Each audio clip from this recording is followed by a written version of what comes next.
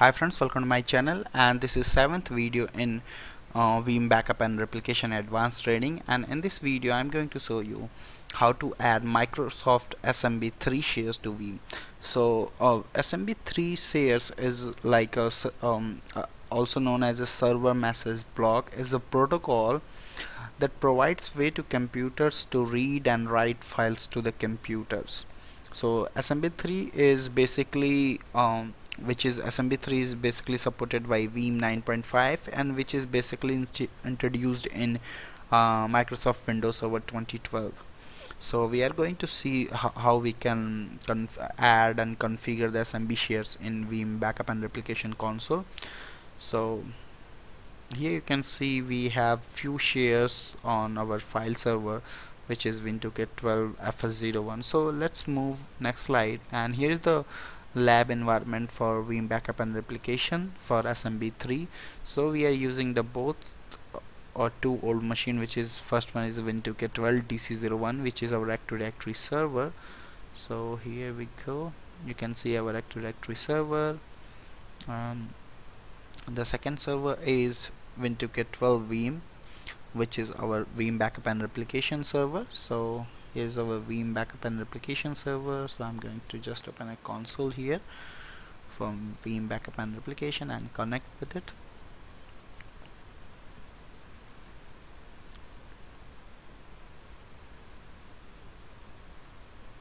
So the next server which is brand new server we have a Win2K 12 FS01 which is our file server which is running on SMB3 uh, because this is a window running the file server is running on Windows Server 2012 R2 so this file server is joined in my domain and it's having 6 gig of RAM and let's see the server. So this is uh, Veeam backup and replication console. So if I go to file and file server you can see my server detail. This is Win2K 12 FS01 and join in my domain and the IP address of this server if I go here you can see we have one D drive which having multiple folders and all these folders are shared basically. So I can go to computers management and there you can see the shares here all the shares folder. And if I go in file and storage services and under shares you can see which protocol it's using. So it's using the SMB protocol you can see and in Windows Server 2012 R2 SMB3 uh, as by default.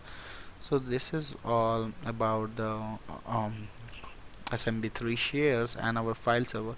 So this is our setup and so let's go to the next slide.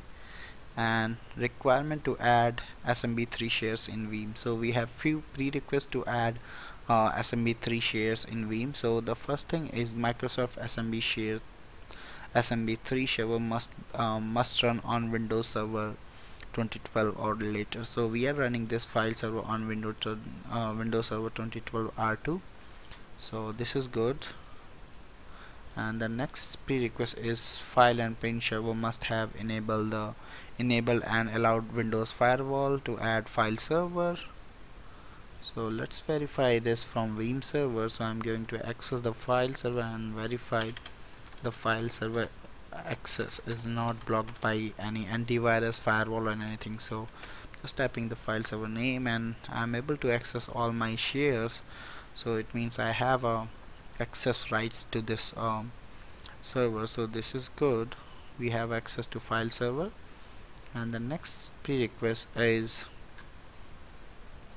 this is same thing. The Veeam account must have full con uh, full control permission in the security settings for SMB3 shares or uh, uh, shares on which is running on a scale out file system which is uh, basically a cluster file server cluster.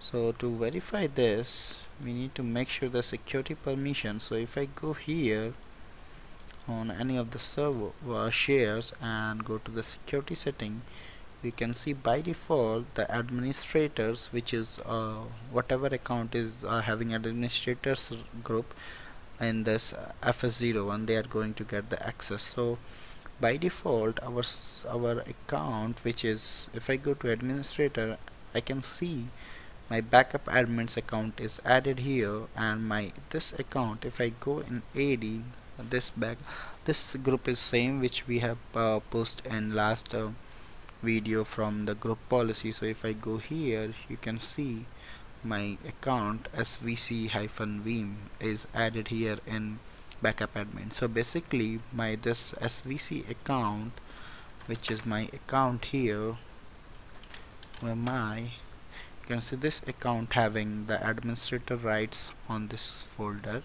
on this server. So by default it's going to have access on all these uh, share folders. So this having administrator rights so this is completed and the next one is file server and file server vss agent services must need to be installed. So either you can run this command on PowerShell to install this services either you can go and install manually from add and remove features on a file server. So I'm on a file server add and remove features and role based installation so if I select my server and click next you can see file server role is already installed on my server. So you can see file server is already installed. So I'm going to install uh, you can see also our VSS agent is installed. So we are basically um, completed with this. So this is good. And the next thing which is select credential for the account during the installation must have administrator privilege on file server. So this is has been already verified. So our um, uh, if I go here uh, you can see uh, on Veeam server I'm using this service account to log in which is here. So this account already having the administrative access on this file server.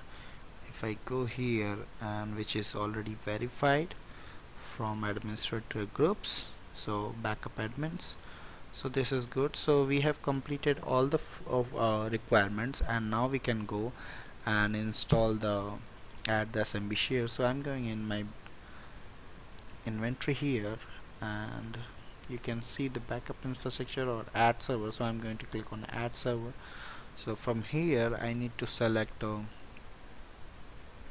um, Microsoft SMB3 and then you will get the option to add DNS so I'm going to add my DNS name here which is FS01 and this is called SMB3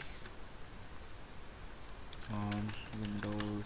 So on Win 2K12 FS01 so click next and what type of uh, SMB3 is this is not a cluster this is standalone so I'm going to select a standalone file server and click next. And under the credential I'm going to use my Veeam service account credential so click next. So it's going to detect the component if component is installed or not. So currently we don't have any component installed related to Veeam on this file server. The only installer service is installed so we can go and uh, this the setup wizard is automatically going to install transport and integration so if you you can also go in back and verify the ports which is going to be used for these services. So I'm going to click next and here you can see the, uh, the tools are going to install. So click apply and this is going to start manage server maintenance job so uploading transport Veeam transport MSI package. To file server now package is getting installed.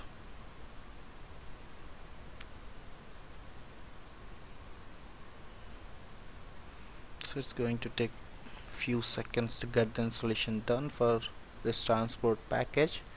And we can verify on our file server also transport package is getting installed so now it's installing the package for Hyper-V integration this is also done.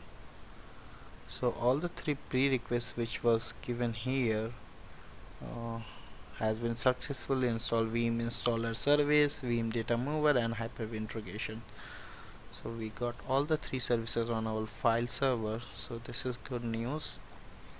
So if I go back and you can see all the information server has been added successfully so I can click on next and then you will get the standalone SMB3 share. And this is the server operating system.